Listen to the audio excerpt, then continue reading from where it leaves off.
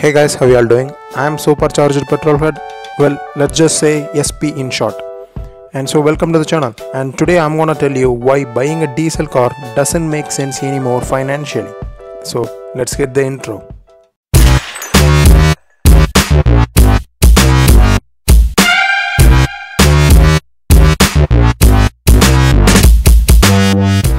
Before diving in deep guys, if you can hit that subscribe button and turn on the notification, it would be awesome. I'm trying to hit 20,000 subscribers before January, so yeah, subscribe and also share the video. Now, let's get back into the topic. To understand why buying a diesel car in 2019 doesn't make any financial sense, let's take an example a Suzuki Swift. The top variant in petrol ZX i Plus cost almost 7.3 lakhs ex showroom and the top variant diesel ZDI Plus cost almost 8.3 lakhs ex showroom and the on-road price of them are roughly about 8.5 lakhs for the petrol and 9.6 lakhs for the diesel.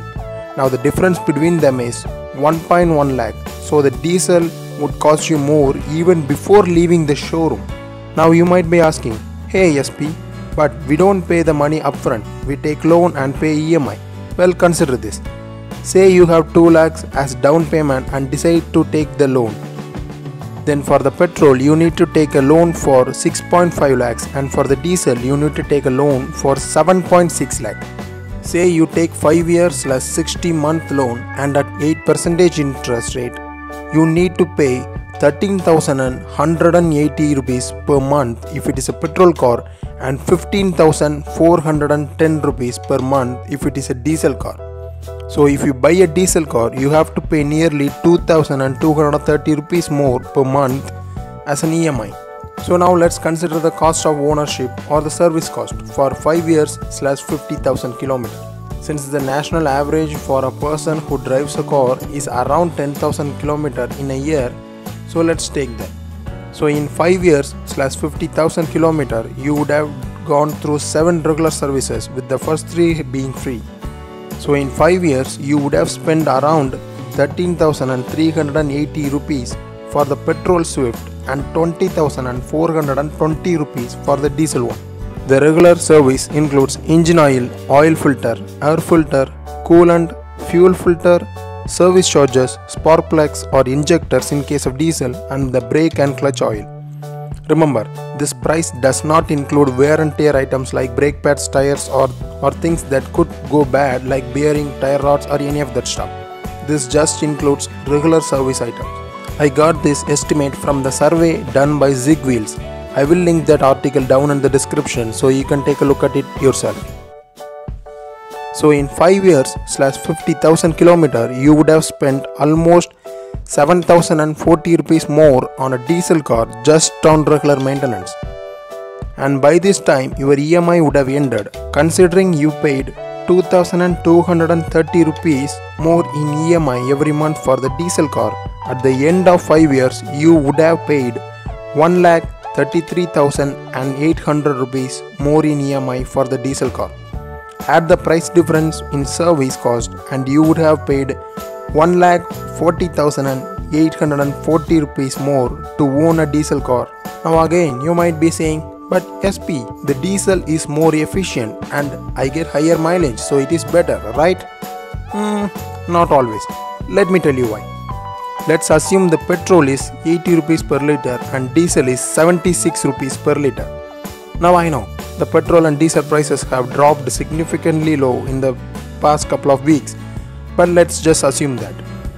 Now, let's say the petrol gets a 14 km per liter mileage and the diesel gives 18 km per mileage. And again, I know some people get more than that, but for the sake of this video, let's assume so.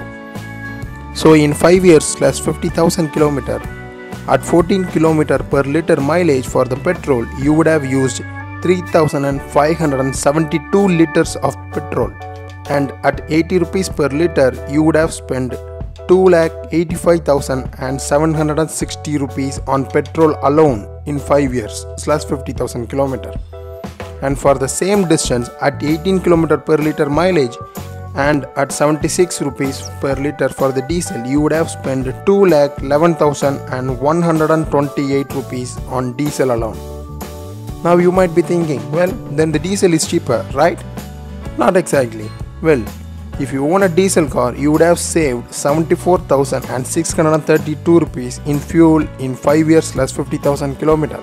But remember the price of the car and the service cost of petrol and diesel, which is 1,40,840 rupees, and minus that to the 74,632 rupees in the fuel cost and still you would have saved 66,208 rupees if you have bought a petrol car over a diesel. Almost 70,000 rupees is not a small amount of money. Now, you might be saying, well, I keep the car for 10 years and I plan to drive more than 60,000 or 80,000 or even 1 lakh kilometer. So diesel is profitable. Well, I did some calculations and for 60,000 km you would have saved 52,814 rupees if you bought a petrol car and in 80,000 km still you would have saved 26,912 rupees. Even in 1 lakh kilometer you would have saved 1206 rupees in petrol car over a diesel. Remember, this is for the Swift, where the price difference between the petrol and diesel car is just 1 lakh rupees. But on other cars like Hyundai Verna or Creta or Honda City or even Toyota Innova Crysta, the price difference between the petrol and diesel could be anywhere from 2 lakhs to 4 lakh rupees. So you can calculate the savings yourself. Now, I'm not saying buying diesel is stupid. No, no, no, no, no, no. It makes sense if you drive more than 1 lakh kilometer or even 1.5 lakh kilometer or if the price difference between the petrol and diesel increases more than 10 rupees. Until then, buying a diesel car does not make much financial sense for normal buyers. So, you can calculate your savings this way for the car you are considering. Remember, I was pretty conservative with the price and also with the interest rate. It may change depending upon your credit score or even the finance scheme you choose. So do the math and see for yourself whether it is a good for you. Buying a diesel car was profitable previously, but in 2019 with the price difference between the petrol and diesel being so low, it does not make financial sense anymore. I did this video because 90% of the buyers who buy smaller cars like Swift, i20 or Baleno or any of those smaller cars in diesel thinking they are saving money but they end up selling the car in 4 or 5 years with less than 60,000 km in the Odo or losing a lot of money without even realizing. Since you don't need to spend a lot each time you fill the tank in the diesel car, people assume it to be much more cheaper, but in reality it is not. The only thing good about diesel is higher mileage. Other than that, it is more expensive to buy, more expensive to insure, more expensive to maintain and service, more expensive to upkeep in a longer run and also more polluting and bad for the environment over its petrol counterpart. I know some people buy diesel cars not just for the mileage, they also like the low end torque it produces. But for most of the others, petrol cars is better. It is smooth, high revving, fun to drive, and much more exciting than the diesel cars. If it is a big car like Innova Crysta or the XUV 500 or any of those cars, then yeah, diesel makes sense. Due to their heavy weight, the low end torque produced by the diesel engine is good for acceleration, towing stuffs. Although I'm sure no one tows stuff with their cars in India, but at least it makes sense then. But for all the small cars, you will be better off with a petrol car for the normal family use. Now, again, I'm not here to preach what car you should or shouldn't buy. It is your choice, but again, do the calculation yourself and see whether the diesel will suit your need.